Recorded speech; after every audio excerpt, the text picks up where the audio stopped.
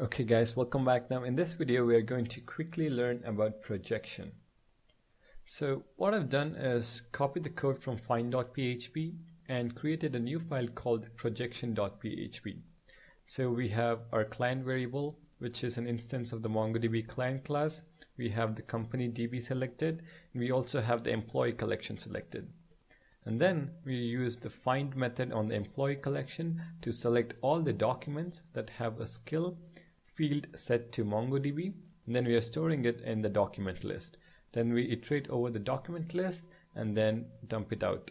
So when we go to our browser and say projection.php, then control U, we have the two documents which have a skill MongoDB. So that is ID1 Andrew and then ID2 Brad. So what projection allows us is we can include or exclude a specific field from a document while querying for it.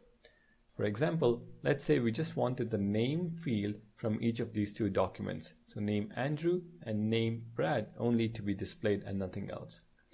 So for that, we can make use of a second parameter to the find method. Now, this is going to have a keyword projection. So what do we need to project? This again going to be an array. We just want the name. So name set to one. Now let's save this and reload our browser. There you go. We have name Andrew, name Brad. The age and the skill fields are not displayed anymore. However, we still have the ID field. Now this is the default behavior. ID is going to be displayed unless explicitly mentioned not to.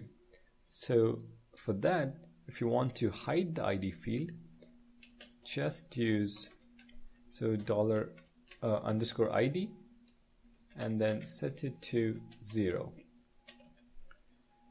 Now save it and refresh it and there you go the ID field is hidden now we just have the name Andrew and name Brad so if you want to include a particular field in your query just assign it 1 and if you want to hide explicitly use 0 so that's pretty much it about projection.